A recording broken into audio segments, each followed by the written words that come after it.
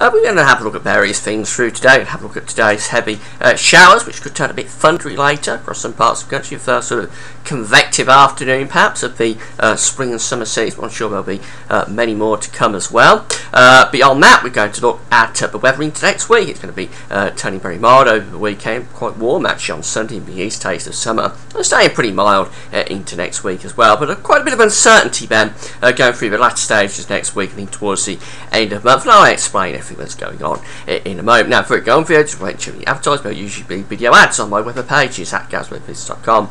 Uh, please pay us an to be supporting uh, um, by doing that.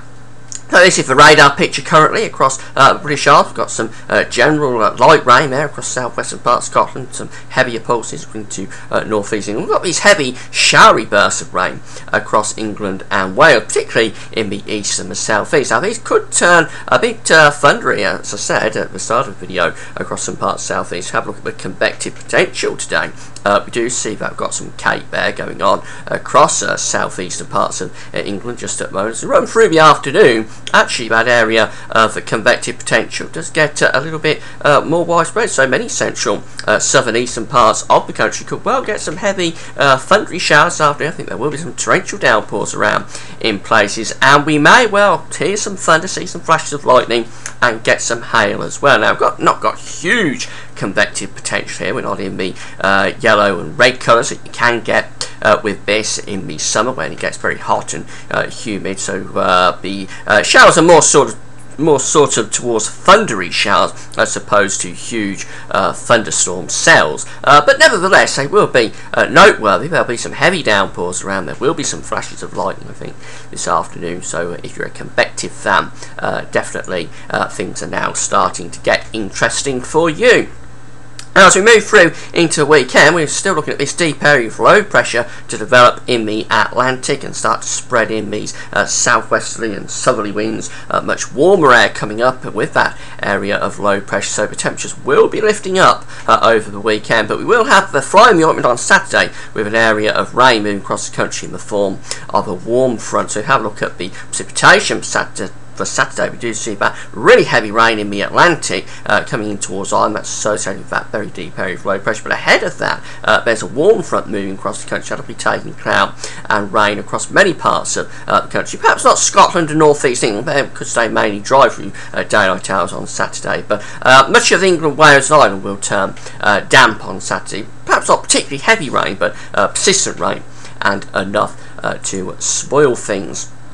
But as we move into Sunday, that's really when we get those high temperatures uh, coming along. That warm front will push through as we go through Saturday in towards uh, Saturday evening, overnight, Saturday night. And by Sunday, uh, what we'll be left with is a trailing weather system here across central parts of the country. That's on a very weak uh, cold front. But to the east and south of that, that's where the high temperatures uh, will be. Uh, in fairly reasonable sunny spells, I think. It will brighten up after cloudy start on Sunday in the east and the southeast. Most temperatures really will respond uh, to that sunshine, getting up to around 18, 19, possibly 20 or 21 degrees on Saturday, uh, on Sunday rather. Certainly a taste of early summer, uh, much, much warmer than we've had for many, many weeks, many months actually, have to go back uh, to September uh, to find temperatures as high as that across parts of the country. But uh, not so for the north. In the uh, north and the northwest, we're actually sitting cooler temperatures uh, there, so we never really get that warmth pushing up. but for the southeast, definitely a taste of early summer, and I think it'll be very pleasant indeed. Now, looking out beyond this, we're looking at a fairly warm week next week, or a mild week. Temperatures above average. These are the GFS temperature ensembles. There's the spike in the temperatures that got coming up over the weekend, going well above average. The red line here is the average for the time here. We're going well above that red line over the weekend. Then that weakish cold front will come through and just drop the temperatures back a bit, but we're still above average. And that's really how we maintain the weather then going out uh, through next week. So 17th, 18th, 19th, uh, we're well above uh, red above average. And there's not a lot of precipitation. There are some precipitation spikes down here on the bottom of the chart, but not a lot really uh, going on. I think there'll be a lot of dry weather, particularly in the south and the southeast, uh, through the course of next week, and temperatures will be very pleasant. From around the 20th, though, we start to get this split in the ensembles, and this is where things are starting to get more complicated then as we're going into the final uh, sort of week to 10 days of the month. We've got some very warm members of the ensemble, and we've got some very cool uh, members of, of the ensemble, actually quite cold members there uh, coming along as we go out towards the end of the month, with some of the members going down below minus uh, 5 Celsius at 850 HPA. That's proper cold air uh, coming back once again. But there's huge scatter there in that ensemble. It's very difficult to say uh, what's happening, I think, as we go through uh, the final week or so of the month. What we can say is the next week, uh, Friday the 12th to Friday the 19th of April, it's going to be fairly mild, temperatures above average, and just look how mild it is across the continent. Now, now, you'll remember I've been showing these quite a lot recently, and much of the continent has been uh, locked in blue colours, dark uh, blue colours indicate temperatures well below average, in some cases 8 to 10 degrees below average uh, across northern and eastern parts of uh, the continent. But it just goes to show how quickly things can switch around because now virtually the whole of the continent is bathed in the red colours and that's temperatures going above average. And that switch has happened in probably less than a week really uh, for many places. So it just goes to show how quickly uh, the weather changes particularly at this time of year where we're moving from winter in towards uh, spring and summer. But uh, it happens reversely as we go from summer into autumn winter. But it just goes to show you how quickly things can change and you think that the weather is locked in and it's never going to warm up. And then within a few days virtually the entire continental landmass has gone above average. It is going to be a milder week uh, coming up uh, for many places. These are the generic charts. This first of all from the GFS model. Uh, we see that we've got uh, a southwesterly flow across the country as we go into the start of next week. Low pressure still running close to uh, Scotland with a jet stream coming in across the British Isles so it'll be unsettled in the northwest, but uh, not a lot of rain in the southeast. High pressure tending to dominate. But go out beyond that, uh, GFS model uh, then wants to build high pressure in uh, from the south. So a lot of settled weather next week across England and Wales. Always more unsettled in the north, uh, and we sort of end up in the 10-day period. This is Monday, the 22nd of April, uh, with high pressure there deciding to dominate over Scandinavia again, so possibly bringing the winds around into a cooler direction. But I think we do have to be very careful about how seriously we're taking the charts from uh, the 20th of April onwards because there's a lot of scattering that GFS temperature ensemble and it's very difficult to pin it down really what's going on.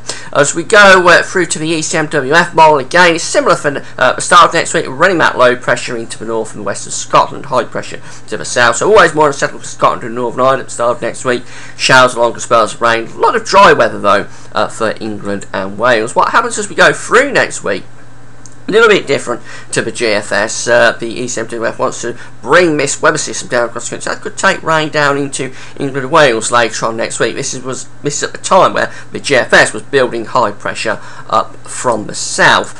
Um, and then the ECMWF wants to uh, end up at the 10 day period, Monday the 22nd, in this fairly cool and strong northwesterly wind uh, with high pressure out to the southwest, low pressure up to the north and northeast, bringing down uh, this coolish uh, sort of northwesterly wind. So this, if this was in the GFS ensembles, this would be one of the cooler members of the ensemble, not cold, uh, but cooler, and certainly the chance there as uh, we go beyond that, if it was to move back to trough through into Scandinavia and build the Atlantic, we could start to pull in a cold uh, sort of northerly wind. Now you remember the other day I was talking about the end of the month possibly turning cold again uh, with blocking coming back over the North Pole. We uh, used the Arctic Oscillation observed and forecast charts to back this up. Remember the Arctic Oscillation is a reflection of weather in the uh, Arctic, it's not a driver of the uh, weather. and many of the members at the end of the month you'll remember, we're going uh, down into negative territory again, indicating negative NAO, which uh, extrapolates to blocking coming back over the pole. Well, that's less so now. Uh, we do have uh, a bit of a drop off in the Arctic oscillation, but it's more or less dropping back towards neutral actually after going positive in the coming week or so. Positive Arctic oscillation means I've got low pressure over the pole, high pressure in the mid latitudes. We strengthen the westerly winds across the Atlantic into Europe. Uh, negative Arctic oscillation is the reverse. We get blocking over the Arctic. Uh, we weaken the westerly winds, we pull down cold air into the mid latitudes. Well, uh, as I say, there's uh, a there is a drop off going on as we go towards the end of the month, but we're not dropping down particularly into negative territory. But if we just have a final look at the uh, NAEFS, you'll remember uh, I had a look at this uh, the other day. I wasn't back to successfully explaining what these are. These are ensemble means uh, of the GFS model. So each member of the uh, GFS ensemble is grouped together uh, with these charts and it comes up with an ensemble, an ensemble mean. Now there's about 20 members of the GFS ensemble. So all, each one of those 20 members is put together. And this is the mean chart. This is for 10 days away uh, and it's showing a positive anomaly there across the British Isles indicating high pressure really dominating the weather um, uh, as we move out beyond that. That high pressure is maintained to uh, the 23rd which is 11 days away. But look what happens as we go beyond this again. Uh, the NAEFS want to take that high pressure out towards the west of the country so that by the time we get through towards 348 hours away, a long way away, uh, but we are building that high pressure, uh, the positive heights again around Iceland and Greenland and down into the Atlantic. And as we go towards the 10 day period, this is the 28th of April, right at the end of the month, we've got a lot of blocking there being forecast by the uh, NAEFS in the Atlantic around Greenland, around Iceland, and we're developing this trough uh, around Spain and Portugal, moving into central parts of Europe and into the south as well. So this is a proper negative sort of North Atlantic Oscillation, Arctic Oscillation type pattern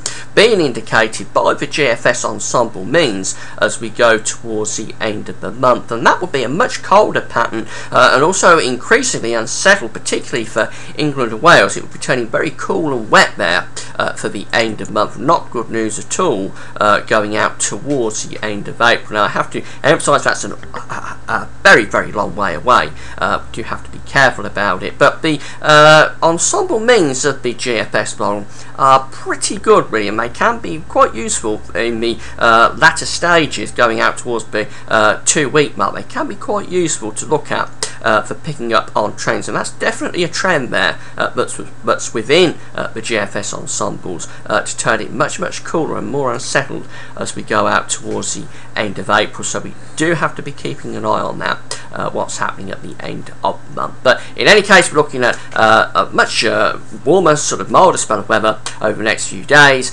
into next week as well, particularly for England and Wales. I'll be doing all the detail on that tomorrow in the week ahead forecast. But that's it for now. Thanks for watching.